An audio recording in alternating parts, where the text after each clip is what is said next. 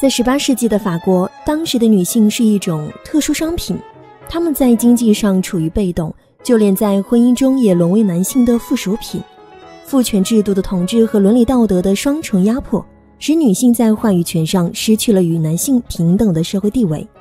欢迎来到小春电影，这一次分享的是《燃烧女子的肖像》，文字作者鼠草小枝，主人公是一个叫玛丽安的年轻女画家。他独自来到法国西部的孤岛上，受父亲老主顾的委托，玛丽安准备为贵族小姐艾洛伊斯绘制相亲用的肖像。一路上的风吹雨淋让玛丽安又冷又饿，她一边狼吞虎咽地吃着晚餐，一边打听着贵族小姐的情况。女仆表示，艾洛伊斯的性格古怪，曾拒绝让画家看到自己的正脸，因此只留下了一副无脸之作。到了第二天，贵妇人向玛丽安说出实情。女儿艾洛伊斯反对结婚，所以才拒绝别人为她画像。贵妇人希望玛丽安假扮女伴，在女儿不知情的状况下悄悄作画。自信满满的玛丽安保证一定完成任务。接下来，玛丽安布置好画室的同时，也从女仆那里问出了事情的来龙去脉。原来，艾洛伊斯姐姐为了逃避这门亲事，半年前跳崖自尽，因此艾洛伊斯必须代替姐姐嫁给意大利贵族。这样一来，既可以维护家族荣耀，也能遮掩家族丑闻。于是，玛丽安对未见面的小姐产生了同情。过了一天，玛丽安被要求陪艾洛伊斯外出散步，可对方把自己包裹在大衣里，避而不见，还朝着悬崖边一路狂奔。玛丽安被吓得提心吊胆的时候，这位小姐才猛然回过头。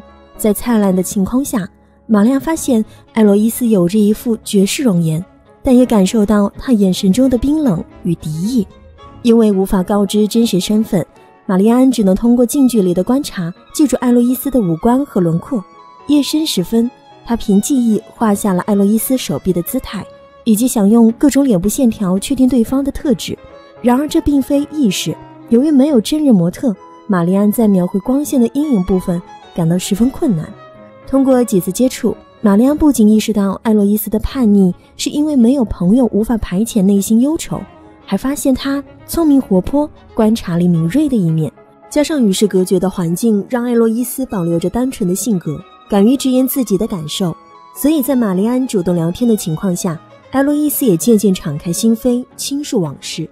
另一方面，艾洛伊斯缺乏社会历练，他不会游泳，从未远行，只听过修道院的亡灵曲。日子过得毫无乐趣可言。幸好玛丽安读懂了他渴望体验生活的心理，于是玛丽安教他如何吸烟斗，鼓励他读书，和他分享其他音乐。此后，艾洛伊斯对玛丽安的态度有了明显好转。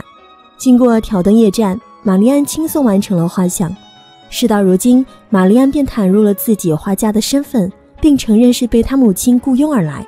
结果可想而知。被蒙在鼓里的艾洛伊斯恼羞成怒，他转身冲向大海，仿佛要把对玛丽安的愤怒释放在波涛汹涌的海水中。回到别墅，艾洛伊斯对那幅精心准备的肖像大加嘲讽，批评他缺乏生命力。他认为绘画的精髓不该浮于表面，那种发自肺腑的一往情深，才能让肖像具备永恒的灵魂。可这么一弄，玛丽安被直接气炸了，她气愤又羞愧地抹去了肖像面部。贵妇看到后非常生气，准备让玛丽安走人，而艾洛伊斯却表示自己愿意做她的模特。结果因为这件事情，两个人的关系反而变得亲密。艾洛伊斯不仅主动配合画的创作，又和玛丽安一起帮助怀孕的女仆尝试各种堕胎的方法。某日，玛丽安望着艾洛伊斯严肃的表情，担心对方被自己凝视而紧张，索性就把观察到的细节说了出来，比如他心神不定时会双手紧握。感到尴尬时会咬嘴唇等等，而艾洛伊斯也识破了玛丽安的众多微表情，比如当她理屈词穷就会抚摸额头，内心不安时则会气喘。其实这一幕才是恋人间最真挚的表白，因为彼此的一举一动都受到对方的密切关注。两人对视凝望，一种异样的情愫油然而生。晚饭后，大伙围在火炉旁阅读诗歌。讲起了阿尔普斯到地府想把亡妻带回人间的神话故事。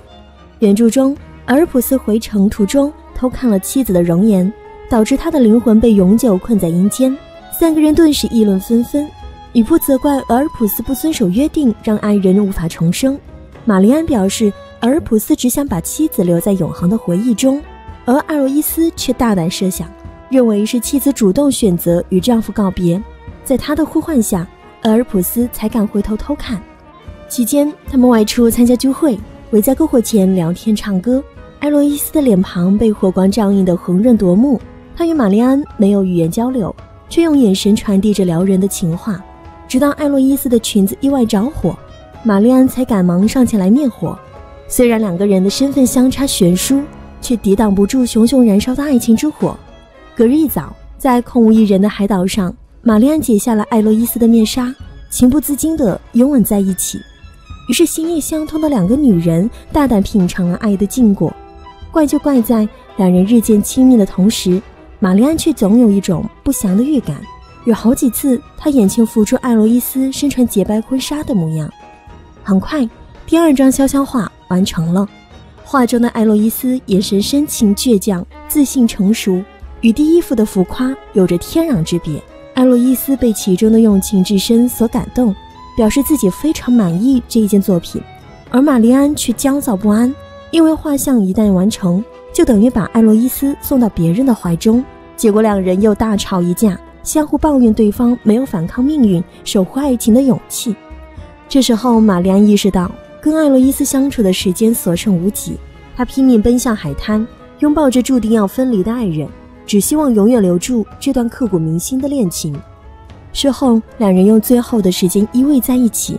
艾洛伊斯提出要玛丽安的画像作为纪念，于是玛丽安翻开诗歌的第二十八页，在空白处画出了自己赤身裸体的模样。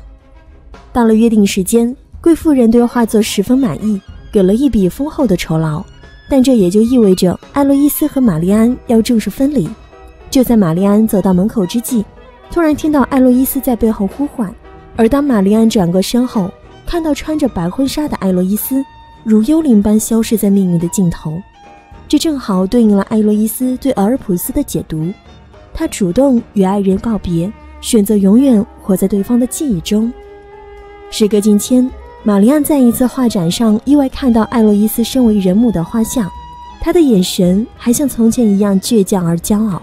只不过，艾洛伊斯的右手拿着一本书，手指翻开的一角写着第二十八页，隐秘地表达出对玛丽安的深爱。在不久后的音乐会上，玛丽安看到了对面包厢中的艾洛伊斯。此刻，管弦乐队奏响旋律，弓弦交错，犹如暴风雷鸣。令人荡气回肠，而这正是玛丽安第一次为艾洛伊斯弹奏过的乐曲。在艾洛伊斯念念不忘的泪水中，这场注定没有结果的爱情终于落幕。许多年过后，玛丽安已经是一位知名画家，专门教授肖像画的技法。在他的创作中，有一件特别的作品：一位女子安静地站在草原上，衣服一角在火中燃烧。